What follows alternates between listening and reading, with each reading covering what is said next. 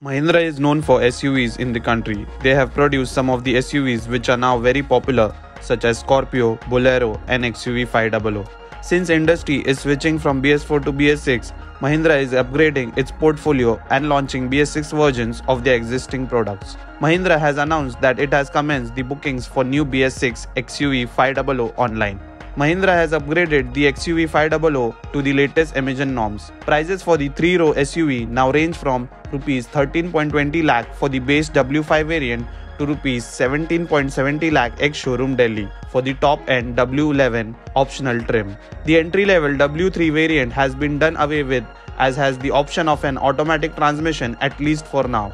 The XUV 500 is now available only with a sole diesel manual combination. As such, the BS6 XUV 500 cost about rupees 29,000 to 32,000 more than the equivalent versions of the BS4 spec vehicle.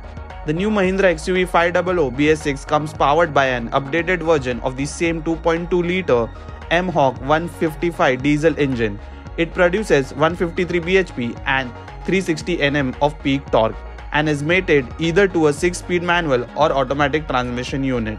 The new Mahindra XUV 500 BS6 in India will continue to be offered in a range of variants. This includes W5, W7, W780, W9, W980, W11 optional and W11 optional AT. All variants of the BS6 XUV 500 will continue to carry forward the same features and equipped as the previous BS4 model with the little to no charges being made.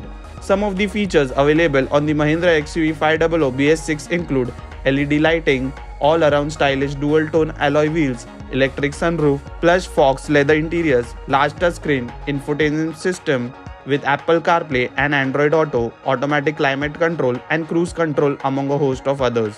The new Mahindra XUV 500 BS6 will also continue to be offered in a range of color options Crimson Red, Volcano Black, Pearl White, Opulent Purple, Mystic Copper, Moondust Silver, and Lakeside Brown.